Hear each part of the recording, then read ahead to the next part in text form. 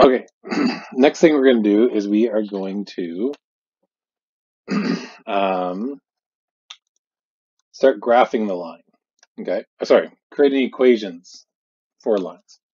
So the equation we're going to make, okay, so we're over here still. There's my pen right here. We're over here, and now we've we know how to find m, we know how to find b, so we're going to put it together to create an equation of a line. And what the equation line does is allows us to plug in. So let's go y equals mx plus b. Okay. We know how to find this, right? That's our rate of change.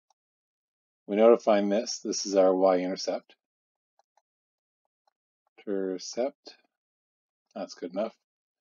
Now, what this does, once we get this, it allows us to plug in an X or a Y value to find where, uh, to find the other one. So for example, if we had all this, we could plug in an X value to find what our Y value would be so we could chart it, okay? We'll do an example at the very end of uh, how to kind of work it, but that's not today's lesson, but it's good to know where we're going. So what I'm going to do is I'm going to do all of the rate of change in blue and all of the y-intercept in red. Okay, I've changed computers here, so my uh, my software doesn't chug anymore, hopefully. Although I do lose where my cursor is. It's not as big with this one. So first thing we do, step one, identify the rate of change. So if we do it here, take a look, we're going to build our little triangle so our rate of change here is minus 3 and over 30, right?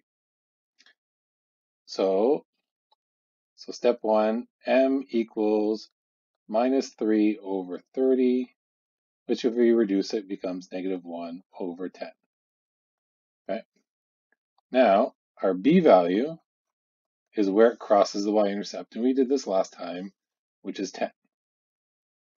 So then we have those two numbers. So what we're going to do here is we go y equals, I'm going to leave these two spots blank. Because if you look, the two spots I'm leaving blank are this spot and this spot. And we're just going to replace those with the numbers. So in this case, what's going to go here is negative 3. Oh, there's my undo button. What's going to go here is negative 1 over 10. And what's going to go here is 10. So there's our equation. y equals negative 1 over 10, x plus 10. And we're done. Now this one here, first thing we do, identify our m value. Oops, that's right. Our m value, so let's take, make my triangle, so this is up one, two, three, and over one, two. So three over two is our M.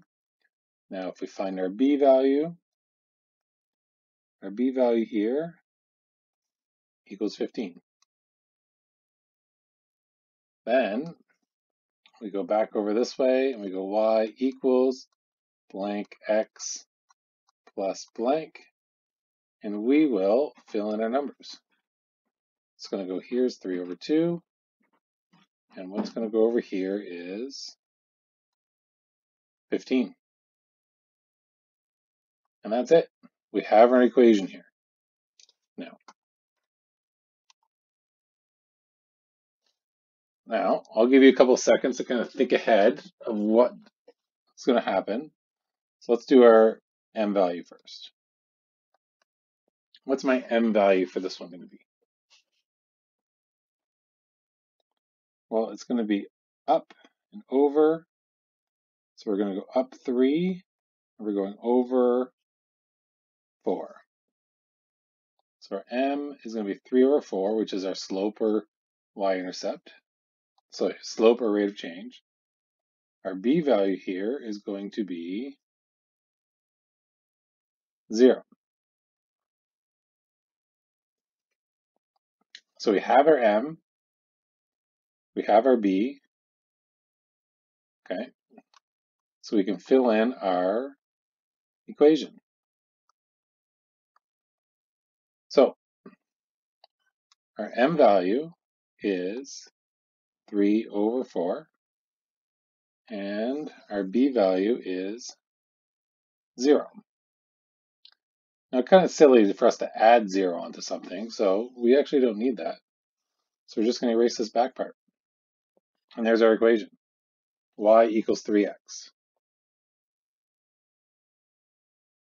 Now to kind of prove this right, we're actually going to go here, and let's say, for example, so I have y equals 3 or 4x, right?